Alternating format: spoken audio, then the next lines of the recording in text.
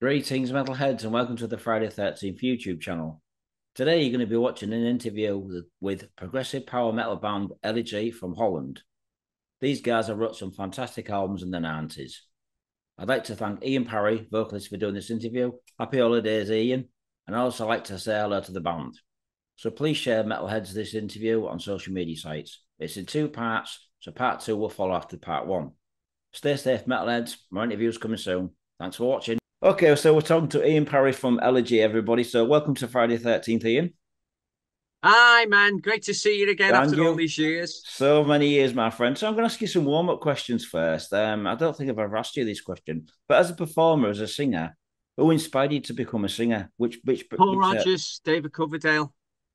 Okay. Uh, definitely Paul Rodgers, Dio. In the in the old days, I played drums uh, with a student in a local village band when we folks moved from Liverpool to a place called Elton in Cheshire, and uh, there was this uh, local student, and he was learning how to play guitar, and and and uh, I told him, "Oh yeah, my dad's got a couple of drum kits." He said, "Oh, let's uh, start a band together." He used to go round to his house. He had money. Uh, he was a student uh, he could buy uh, LPs at the time. And another friend of ours who was a bit older, he had a day job. So we used to go, I used to go with them listening to Fireball from uh, Deep Purple. And yeah, then when uh, Ritchie Blackmore's Rainbow came out, uh, I was blown away with Dio's voice. But I, it's, I love Dio, but I personally, uh, as a singer, I prefer Graham Bonnet, and I toured with him a few years back, which was an honor. Hmm. Such a lovely man. But that was it for me in the old days. It was like I loved All Right Now, uh, Free, a Bad Company when it came out, uh, Free, Wishing Well, remember? Yeah. Wishing Well, Paul Rodgers. I mean, what a fabulous voice. But I played drums for a year. All right, okay. And then uh, then uh, one day the uh, the singer couldn't make it, and the guitar player said, "Okay, uh, have a go at singing. Bring your brother down to the rehearsal room in the village hall, and uh, you you do a bit of singing, let your brother play drums. I did that. And the next we next meeting we had was in a bus shelter in them days. Under the and rain. he said, You're a singer, your brother's a drummer, and the singer's the second guitar player, the rhythm guitarist. That's how it went. All right, dude. But uh, later on, I got into people like uh, Steve Perry, Journey. I was blown away. When I worked with Zak Starkey back in the early 80s, 81, 82, we saw uh, a broadcast from Journey. Uh, I think it was through the old Grey Whistle test. Anyway, it was a live show on the BBC. Sat there with the band Mono Pacific with Zak, and uh, he was like, "This guy's great." so that was like Steve Perry, but he had a phenomenal voice and and clear and a high range. But I like more the. I went with more the rough edge, you know, the old school rough edge. Uh, uh, and then Coverdale, Coverdale was also um, he's born on the same day as me, just by coincidence, twenty second of September. He also loved uh, Paul Rodgers, also inspired by Rodgers. And uh, when I saw the California Jam with uh, it went on video, it was from 1974, and it went on video from uh, Deep Purple, and I saw uh, Coverdale and Hughes, Glenn Hughes singing together. I was like, what the Amazing. So yeah, these are, that, that was basically my um, inspiration was the uh, new wave of British heavy rock or whatever it was called back in the old days. Yeah, I was going to say to you, was Glenn Hughes an influence? You've just mentioned, Quite answered that question yeah. for me. Fantastic singer, yeah. absolutely fantastic. Yeah, oh, phenomenal. All right, still to this day. So, so what was your first recorded band and signing band that you did? What would you do? What were you uh, doing? Well, the first recorded band band unsigned was Zak Starkey, Mono Pacific. It right. was called The Next, first of all, and then the British press went crazy because it was Ringo Starr's son. So we changed it to Mono Pacific, you know, like uh, One World, Peace, uh, that kind of thing, you know, a positive note. Yeah. And right. uh, all the demos, I didn't even realize all the demos we did in them days. You had like uh say we got one or two free days. It was it was in Tittenhurst Park, Ringo's home, but I not realizing he bought this, the home from John Lennon, not realizing he bought everything, including the microphone, the whole caboodle. So there I am doing the demo. He Said you've got an hour, so I had to sing 14 or 15 songs. Couldn't do it now, probably kill me. But in them days, it was like, okay, you just gave it your best shot. And uh, and I found I realized found out later uh, when I saw uh, a video that came out of John Lennon recording songs for Imagine. Uh, I think it was uh, Milk and Honey, the album, or something like that. And there's the microphone, the same Neumann mic, everything was the same. Kitchen table where we had a cup of tea, took a breather, and then carried on. And uh, um, yeah, basically uh, that's how it all started. Uh, you know, back in 1981, we didn't have a deal. We got offered a contract, twenty thousand pounds, A and M Records to do the to, to record the full album again. We did a couple of video clips. One was filmed in Barnes, where the Beatles did some scenes for Hard Day's Night, just by coincidence engineer comes up and says, "Is that uh, is that the son from Ringo Starr?" Oh, he had his dad here a few years back doing uh, scenes for Hard Day's Night. You know, mate, Hard Day's Night, and uh, the we the it was a strange time, but we didn't get signed. Ringo wouldn't let his 15 year old son at the time uh, enter into a contract, so everything just fell apart. All right. So now, about... uh, me, Zak, and the bass player Kerry Benford are the only three remaining band members. The other two sadly passed away, died of cancer. Wow. Yeah. So, what was your first actual yeah. uh, album that you did rock metal? What was your first album that you did? The first release was the Dutch band Hammerhead, a 12 inch, uh, I think it was a three or four track EP, Hammerhead, oh, Heart Made of Steel. Don't know that one. Yeah, uh, and it was before then, uh, before we got Joe Franco in. I, I, went on national radio in the Netherlands. That was in 1983. And uh, we did the recordings with EMI Holland at their studios. We, we, oh yeah, we went over. They sent us over to EMI Germany. We did a show in the Milky Way, the Melkweg in yeah, Amsterdam. Yeah, I remember that. I've, I've been there. yeah, and the uh, Germans from EMI, Germany, EMI Electrola came over. That was in 84. They saw the show straight away. They just took us over from Holland. And then we got David Rosenthal from Rainbow, the keyboard player, to play and produce us. And we got Joe Franco, a, a good buddy of his. He was from Twisted Sister, Widowmaker. I think he's just he did the farewell tour recently. I think last year with Dee Snider, but Joe's retired now. I wanted him on my last Rock Emporium Brute Force album, but he'd retired sadly. But uh, that's that. That was kind of how it all went for me. Uh, you know, the ball really started rolling in the Netherlands. Right. So what did you do after that? I was, was farting it... around years ago uh, in London uh, doing um, uh, these presentations for record companies, and I had Jem Davis. He was in a band called Tobruk playing. I remember those guys. I saw them with UFO many years ago. yeah, years ago. I think he he works with Shy now, or no, the other you great UK band with an incredible singer. Uh, ah, oh, what are they? I can't remember the name. Doesn't at the tip of my tongue. But anyway, uh, we did all these um, presentations for all these major labels they're full of bollocks. You know, I got stuff. I ended up signing with EMI anyway with Hammerhead, and it came out. The great thing for me was it was on the EMI Harvest label, same as Deep Purple. So that was a real kick for me. But they they it went over budget. The Hammerhead album, the uh, the EP came out, but the album was shelved.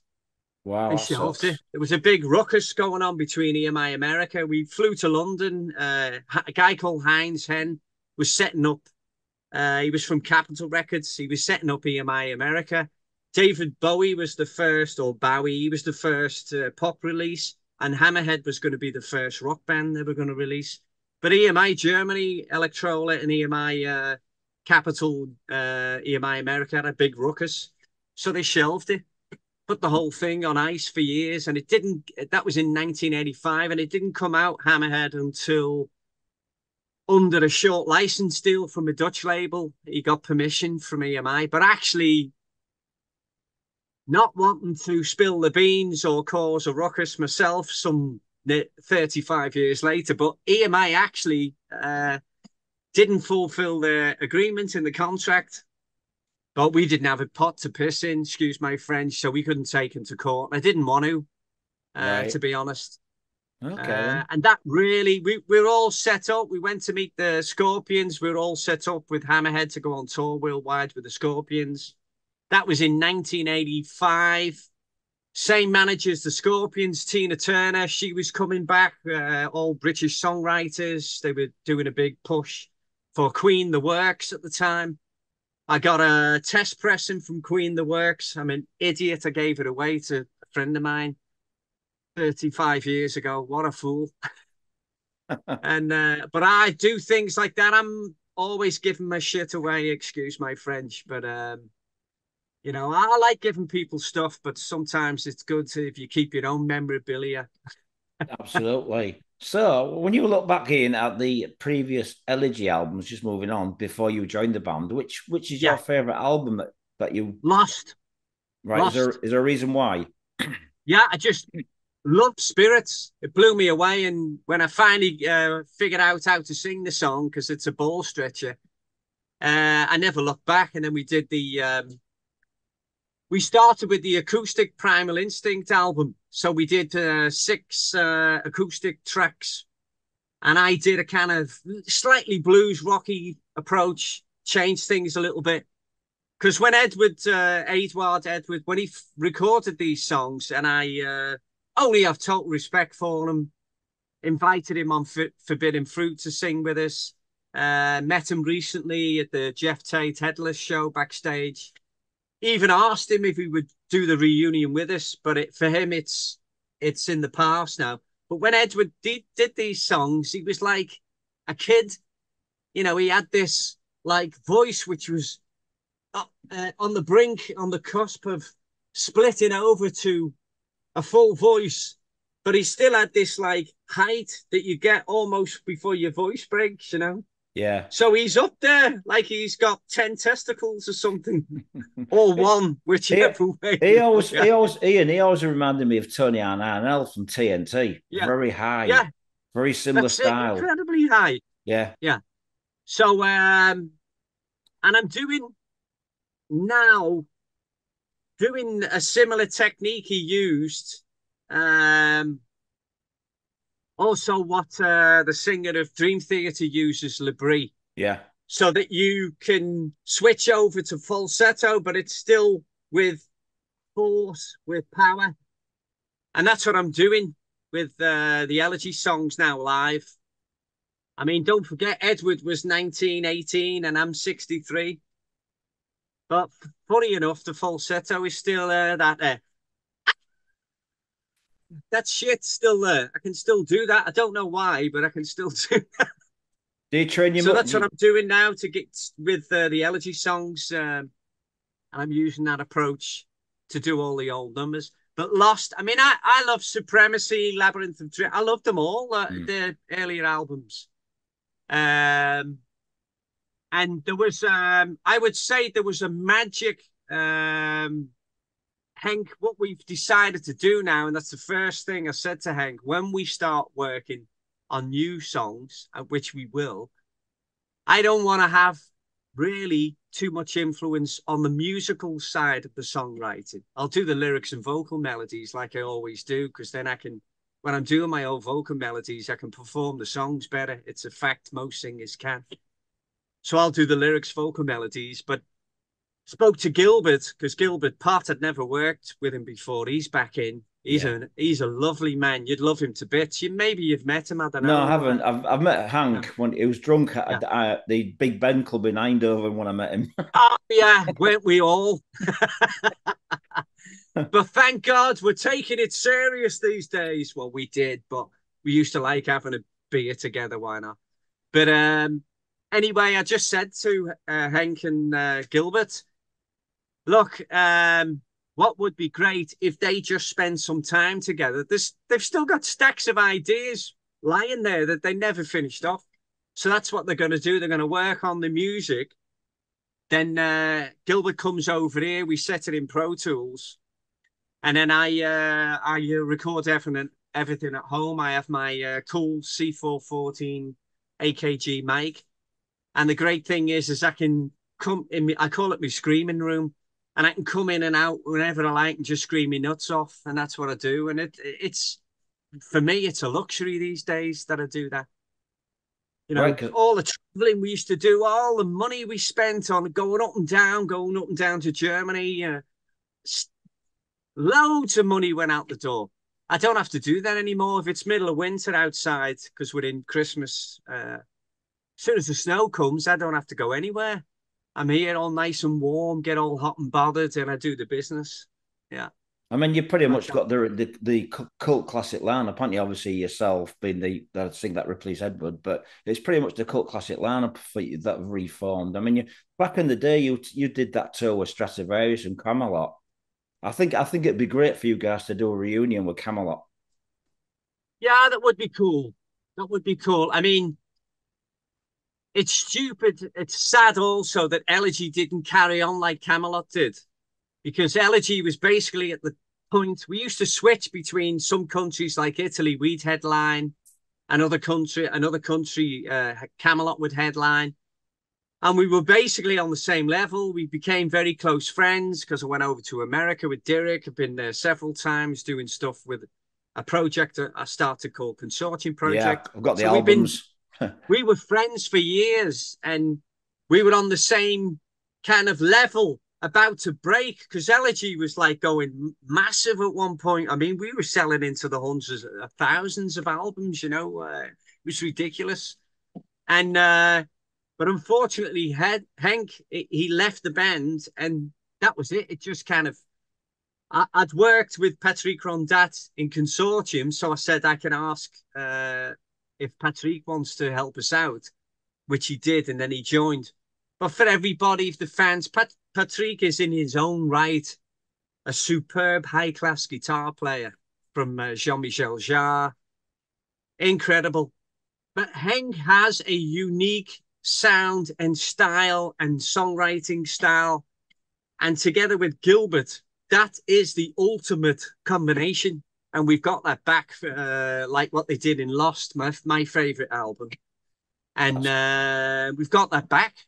You know, and, and that's the thing. Uh, it would have been cool to to have done the live reunion with Gil with um, Edward Edward, but he didn't want to do it. Okay, at least we asked him for the fans, and uh, so in my opinion, once they start um, going, because we spent a lot of time, months getting the set right, um, working out all the, getting that rapport back from, uh, what was it the last time we played together with Hank? I think was in, oh, uh, 98. And the last thing I ever did with Hank was the, uh, we went to Japan on a promo tour with a, acoustic uh, sessions. We did live cable TV and recorded in JVC studio, played at Hard Rock Cafe, a bit too early in the morning. And uh, we did all these things together. It was amazing. And we found out that the old uh, management record company stole all the publishing money. And he, he, basically hadn't been paying the band anything. And he's a bastard. Uh, and his character is a bit like uh, his record company name is, is a real shark. And there are sharks in this music business, I can tell you. And I've seen evidence to prove, I was given evidence from EMI music publishing that they paid him in the hundreds of thousands, this guy. And that was it. That killed it for Henk. He just went downhill after that. And that's, that's what killed it for everybody. That's a shame. So and that's the that's that's the sad thing sometimes in the music business. I've always said I'm gonna protect myself. I learned I let I taught how to negotiate uh, contracts myself. I wanted to know all the legal jargon after the Hammerhead thing. I had that experience, bad experience, sadly, with Hammerhead. All my dreams went down the toilet. Uh, and I was only, uh, what was I, uh, 24, 24, 25 years old or something. Anyway, I had that experience at a young age, at a young age. And I promised myself I wouldn't let these sods uh, do it to me again. Um, and now that that's the thing now. No more nonsense anymore in the music business. It's now time that the artists uh, start earning money instead of everybody else. and and it isn't easy. I can assure you to earn money, and to earn a little bit of money, you need millions of streams. Streams bring in peanuts. You get just a little bit less than one cent per stream. How are you gonna how are you gonna pay your bills on that? Yeah, I know. So I know. what we're doing now, we're, we're doing it also because for the love of Elegy's music. I mean, I still personally believe as a Brit that this Dutch band uh, is a pearl, and it was, and it never, um, it was never really shown to the world like it should have been, and that's what I hope now that we can do that with Elegy. And and already we've been playing for the fans in Italy, and and they came and they were there from thirty odd years back, and there they were, you know. And uh, it was great. It was like being with your family. It was strange, but also fabulous at the same time. So when you So, look uh, I honestly believe now that Elegy will get the opportunity. We're playing in Prog Power Festival uh, in September in Atlanta. I believe it's the second day. It's already sold out. Prog Power. It's the second day sold out really quick. So uh, I think now this may be, you know, some people say uh, uh, like the, the Stones came back with Rolling Stones came back with a great tune. I love it. You know, old rockers never die. true. I've never been a big fan of his voice, but that's a different thing. But Yeah. uh it just shows you can do it. But with our music, with progressive heavy metal, it's a completely different vocal show. I'm, I don't even know if Mick Jagger's got a falsetto. So, uh, but anyway, the thing is, we're going to give it a best shot, and the fans are thrilled to bits. That's brilliant. And uh, already great reviews from the couple of live shows we did. Also, Dynamo we played on the 5th of November. And uh, that was great for Holland after more than 25 years with Henk. And uh, all the fans were, you know, uh, singing and clapping Henky. Henk. We had fans came over from Japan, from all over Europe. It was unbelievable. Never Yeah, I expected it. I wanted to make the Eindhoven gig, but I just couldn't get a ferry. It was, it was just, I'd love to have seen that show. Yeah, no, I know how it goes. I've just been there from Hook of Holland, Harwich with the ferry. Uh, had to go uh, with an emergency, but uh, family member. But uh, I know how it is. And uh, also, uh, if the weather's nasty, it's not very nice. Flights uh, pretty tough these days uh, as well. So Yeah. when you look back at the uh, the albums that you have done with Elegy, which one's your favourite, Ian? Uh, well, I guess um, for the success that we achieved and also the melodic side of it has to be state of mind. Uh, I mean, the pre-sales in Japan before it even came out were 14,000. We went on to sell over 25,000 copies. It's more now, I believe, in Japan. And uh, I think that album did uh, in Italy. I mean, I've never known a record company to have to repress and repress and repress like Modern Music Noise Records, uh, TNT did. Yeah. Um, and the fans, when we were in Japan, uh, even the Japanese fans were singing Shadow Dancer, the lyrics, which took me by surprise. When we arrived in, um, same thing happened in uh, Greece, in Thessalonica. We'd never been there before, Thessaloniki. We'd never been there before. And um, I lost where I was going in the in the lyrics because they started singing the songs and they knew all the words, and it really took me by surprise. And I was like, "What the?" bloop?" you know, and uh, all these great things, sold out shows. Uh, you know, that was with Stratovarius, the Stratovarius tour with Elegy, uh, and um, so it's it's got to be state of mind for the melodic side and the uh, the catchy songs. If if you like, you could almost you could say uh, it was a commercial prog rock album, but for the power and the intensity and the top class production and the quality of songwriting, more mature, if you like, was the concept album Manifestation of Fear. And not a lot of people realize it was a concept album it was based on uh, Henk was telling me a story about his he never uh, had a chance to um, uh, meet his dad. He never knew who his father was. His dad sadly passed away at a very uh, young age, and that took that took me by surprise. And um, that planted a seed in my mind, a creative seed. And my mum and dad basically didn't get permission to marry back in the old days in Liverpool. So it was a kind of a Gretna Green eloping to Scotland type of thing to get married. They basically got married without the consent of the, both sides of their parents. And that was just after the Second World War in the uh, late uh, 40s. Um, so I used that concept of an industrial city like Liverpool because my dad was struggling like hell, couldn't find work. One time he did he, he, he couldn't find work, didn't wasn't able to bring uh, food home to put food on the table. And thank God, my mum's mother, who had a job in Liverpool, she uh, she went out and bought some shopping, and my mum could cook for all of us, including my dad. He came home sad as hell, and there was a hot meal on the table waiting for him. So that environment, and also with Henk not knowing his father and the frustration, I I use that as the basis for the concept story manifestation of fear. That's why you see the industrial city, you know, yeah. growing up in Liverpool. Yeah. Uh, that was the influence, but it but it wasn't anything to do with negativity. It was just sometimes people have these experience experiences. It's a fact of life.